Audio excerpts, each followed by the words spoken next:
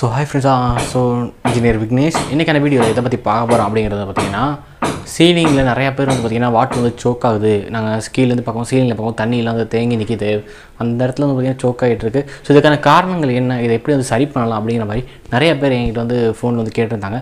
So அதற்காக தான் இந்த வீடியோ வந்து நான் மேக் பண்ணியிருக்கேன். ஸோ எப்படி அதை வந்து சால்வ் பண்ணலாங்கிறத இந்த வீடியோவில் வந்து பார்ப்போம். இந்த வீடியோ ஸ்கிப் பண்ணால் பார்த்தீங்கன்னா நான் என்ன சொல்ல வரேங்கிறது புரியும். ஸோ வாங்க வீடியோக்குள்ளே போகலாம். ஸோ முதல் விஷயம் வந்து பார்த்திங்கன்னா நம்ம வீடு புதுசாக வந்து கட்டியிருக்கோம். கட்டினோடனே பார்த்திங்கன்னா கொஞ்சம் மழை கால டைமாக இருக்கும். அப்படி இந்த மழை கால டைமில் வந்து பார்த்திங்கன்னா நமக்கு வந்து பார்த்திங்கன்னா மேலே ஒரு வெதரிங் கோஸோ டைலோ இந்த மாதிரி எதுவுமே ஒட்டியிருக்க மாட்டோம். அப்படி ஒட்டாதனால வந்து பார்த்திங்கன்னா நமக்கு வந்து எப்படி அதாவது அதாவது ரூஃப் போட்டு எப்படி காங்கிரீட் போட்டு வச்சுருக்கோமோ ஸோ அதே மாதிரியே இருக்கும். அப்போது அந்த இடத்துல வந்து பார்த்திங்கன்னா நமக்கு மழை பெய்யுது. கொஞ்சம் மழை ஸ்ட்ராங்கான ஒரு மழை பெஞ்சிச்சுன்னா கீழே வந்து நம்ம சீலிங்லேருந்து பார்க்கும்போது தண்ணி எல்லாம் கசிஞ்சு இந்த ஓரத்துலலாம் நீங்கள் வந்து பார்த்துருப்பீங்க வாட்டர் வந்து சோக்காக இருக்கும் இந்த சோக்காக இருக்கிறது நாளுக்கெல்லாம் கொஞ்சம் விட்டுருந்தோம்னா நம்மளோட பில்டிங்க்கு மிகப்பெரிய ஒரு பாதிப்பு ஏற்படும். ஸோ இதை எப்படி சால்வ் பண்ணலாங்கிறத பார்த்தீங்கன்னா நம்ம வெத்தரிங் கோஸ் போடலாம். அப்படி இல்லைன்னா டைல் ஓட்டலாம். ஸோ இது ரெண்டும் ஒட்டுறதுனால மட்டும் இந்த சோக்குங்கிறத தடுத்துடலாம். கேட்டால் கண்டிப்பாக இல்லைங்க. இது ரெண்டும் நாள் மட்டுமே ஒரு சோக்கம் தடுக்க முடியாது.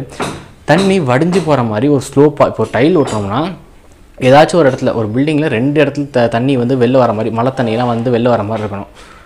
அதுக்கு என்ன பண்ணணும்னா நம்ம டைலை இப்படி ஒட்டுறதுக்கு பதிலாக கொஞ்சம் ஸ்டில்ட் பண்ணி இப்படி ஒட்டியிருக்கணும். ஸோ இதை பேர் வந்து பார்த்திங்கன்னா தமிழில் வாட்டம்னு வந்து சொல்லுவாங்க.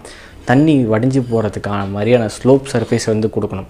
ஏதாச்சும் ஒரு பில்டிங்கில் ஒரு ரெண்டு சைடில் கொடுத்தா போதும். தண்ணி மழை பெய்கிற தண்ணியெல்லாம் ஒரு இடத்துக்கு கலெக்ட் ஆகி அப்படியே ஃப்ளோ ஆகி ஒரு அந்த இடத்துல ஒரு பைப் வச்சுருப்போம். அந்த பைப் மூலிமா கீழே வந்து நம்ம எங்கேயாவது ஸ்டோர் பண்ணணும். இல்லை ரெயின் வாட்டர் ஹார்வெஸ்டிங் பண்ணியிருக்கோம்னா அந்த ரெயின் வாட்டர் ஹார்வெஸ்டிங்க்கு அந்த தண்ணி போயிடும்.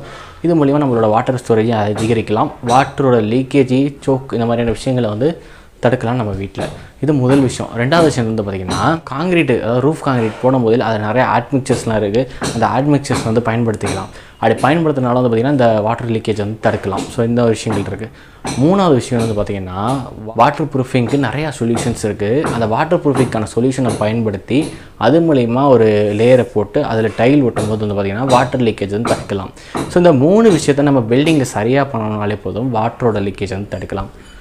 உங்கள் வீட்டில் இந்த மாதிரியான லீக்கேஜஸ் இருந்துச்சுன்னா அது என்ன மாதிரியான லீக்கேஜ் அப்படிங்கிறத ஒரு ஃபோட்டோவாக எங்களுக்கு வந்து கீழே இருக்க நம்பரில் அங்கே டிஸ்கிரிப்ஷனில் நம்பர் தரும். ஸோ அந்த நம்பரில் நீங்கள் எங்களுக்கு வந்து வாட்ஸ்அப்பில் வந்து அனுப்புங்க சென்ட் பண்ணுங்கள் ஸோ அது எந்த மாதிரியான லீக்கேஜ் பார்த்துட்டு முடிஞ்ச அளவுக்கு நேரில் வந்து சரி பண்ணி தரோம். அப்படி இல்லைன்னா ஃபோன் அட்வைஸ் மூலிமா வந்து உங்களுக்கான உதவிகளை வந்து நாங்கள் வந்து பண்ணுறோம் தேங்க்ஸ் ஃபார் வாட்சிங் this video have a great time bye bye